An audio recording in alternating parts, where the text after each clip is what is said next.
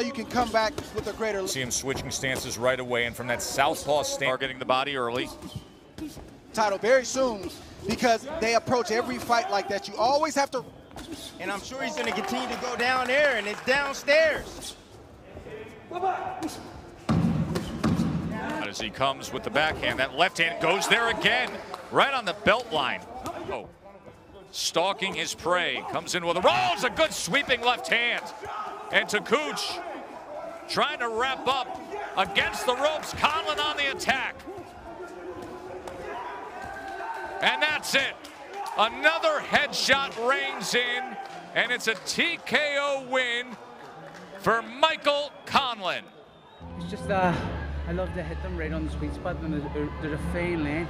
Um, but it was going from a record of two two points this time, so I got it. I'm happy. And Adam, were you panicking at any time with the blows going in?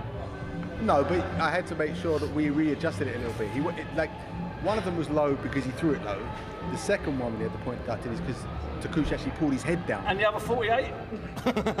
Strategic, but on the left side was right. But, it, but you kind of have to adjust little Yeah. things and headhunt a bit more just because there's a long time in the fight to go. No, it's, it's, it's hard. It's hard to kind of adjust um, mid-fight because it was like some of them I didn't think we were low. They just kind of swayed low. Um, a lot of them must have swayed low, but uh, you know what it is. It is. I, I'm experienced enough in the fight game where I know I can just go ahead.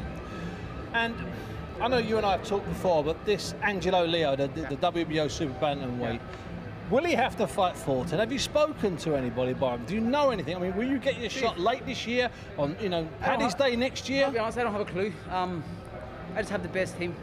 And I leave everything in their hands. I don't have a clue. If they have to fight each other, so be it. If it's in Paddy's Day, so be it. I don't care, but I know next time. And I fight for the world title at 122, which I will. I'll be world champion. Whether it's Fulton or whether it's Leo, it'll be a completely different fight. There was someone in there who's.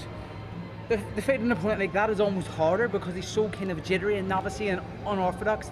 Um, being a southpaw, he does some crazy shit. So um, sorry for the language, no one BT, but you've heard words from me, so I'll let it be. We'll accept your apology for that. Now, not only does he do some, as you say, some some awkward stuff, he's a good awkward southpaw, Yeah. isn't it? And let me let me ask you this: We're talking about this world title fight. We're talking about it four pounds lower than he was tonight.